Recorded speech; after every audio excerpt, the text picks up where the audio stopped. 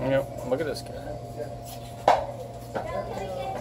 Oh, he just crawled right through that whole log. It's like peekaboo.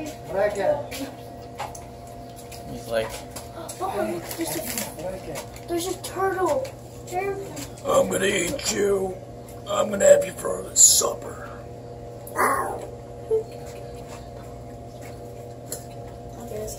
Yeah. That's a box turtle.